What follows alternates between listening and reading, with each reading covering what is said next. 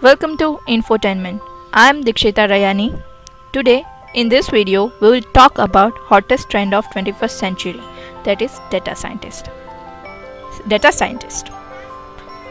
Probably known as the sexiest job of 21st century.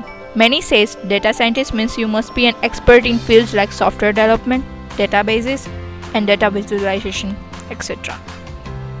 Finding a data scientist is hard. Finding people who understands who the actual data scientist is equally hard.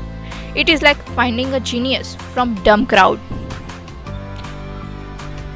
Before few years, the data scientists were not popular as they are now, as you can see in this slide. What is needed to be best data scientist?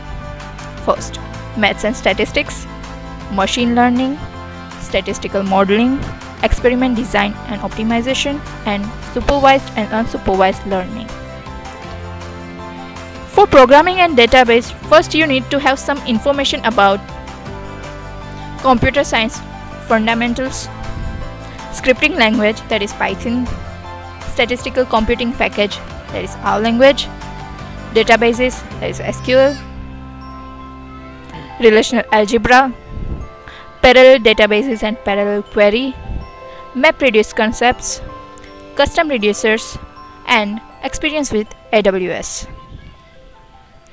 There are some popular data science skills that is data mining, machine learning, R, Python, data analysis, statistics, SQL, Java, MATLAB, and algorithms. What is data mining? We can relate that Data mining is extraction of predictive information from big data of companies for focusing on most important details of their data. There are few data mining techniques that is artificial neural networks, decision tree, genetic algorithm, nearest neighbor method, rule induction. Now, what is Python? Python is interpreted OOP, that is Object Oriented Programming Language, similar to Perl.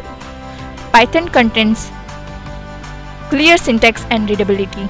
A, not a notable feature of Python is its part of source statements to make the code easier to read. Python offers dynamic data type, ready-made class, and interfaces to many system calls and libraries.